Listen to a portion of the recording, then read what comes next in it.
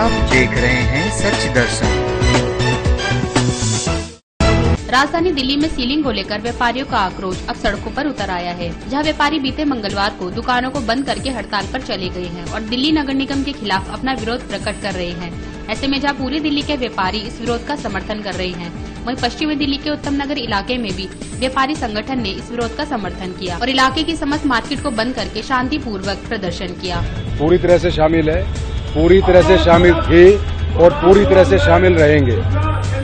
आगे की रणनीति जो दिल्ली की कैट फाइनल करेगी, जो व्यापारिक फेडरेशन है, दिल्ली के व्यापारी का जो मंच है, वो जिस तरह की घोषणा करेगा, उसके साथ उत्तम ट्रेड फेडरेशन चलेगी। व्यापारी को शायद सरकार ये मानकर चलती है कि हम इनको जिस तरह से मोड़ करना चाहेंगे, उस तरह से मोड़ लो जाएँगे लेकिन सरकार को ये भी सोचना चाहिए कि जब आप किसी की रोजी रोटी बंद कर दोगे, उसी के भूखा मरने की नौबत आएगी तो आप ये कल्पना कर सकते हैं कि व्यापारी क्या करेगा।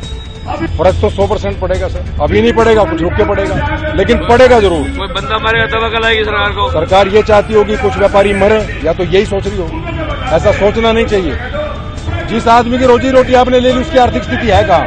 वो तो ज़ीरो कर दिया आपने। तो आत्मदाह करेंगे सरकार ने ऐसा किया तो। आत्मदाह करेंगे हम।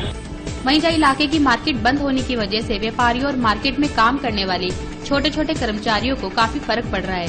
वहीं आम जनता भी इस बंद से काफ़ी प्रभावित हो रही है और इसका खामियाजा सीधे तौर पर दिल्ली सरकार की आर्थिक स्थिति पर भी पड़ सकता है। फ़िलहाल दिल्ली के समस्त व्यापारी संगठनों की तरह उत्तम नगर व्यापारी संगठन भी एमसीडी के सीलिंग का विरोध करने के लिए हड़ताल आरोप बैठ गया है। जहाँ की हड़ताल लगातार जारी है। ऐसे में देखना ये होगा की व्यापारियों की हड़ताल ऐसी एमसीडी विभाग आरोप कितना असर पड़ता है और क्या एमसीडी विभाग अपने सीलिंग की कार्रवाई को बंद करेगा या फिर सीलिंग की समस्या से निपटने के लिए कोई दूसरा रास्ता निकालेगा।